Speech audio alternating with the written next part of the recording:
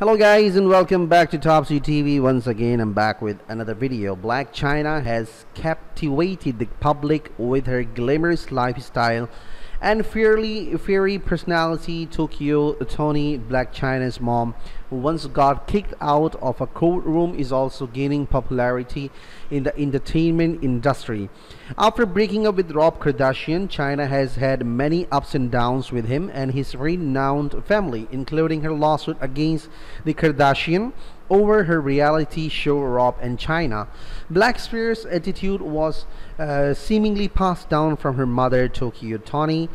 Chyna has come a long way since her days as a stripper and model. As her fame grew, so did people's interest in her background and family, especially her equally stunning and sassy mom who came to her daughter's defense amidst her feud with the Kardashians.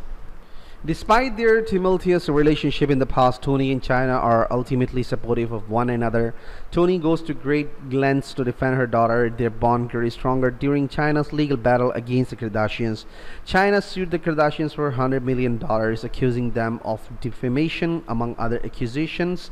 Toni was barred from the courtroom during Blac's legal battle with the Kardashians due to her public rants against the famous reality stars.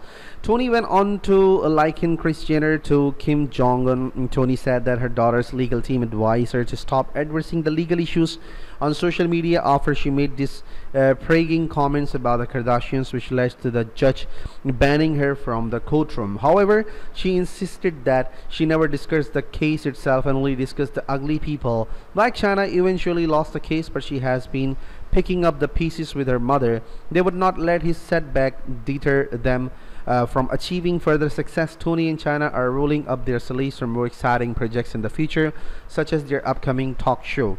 What are your thoughts to tell us in the comment section below? I hope you liked the video, subscribe, and thanks for watching.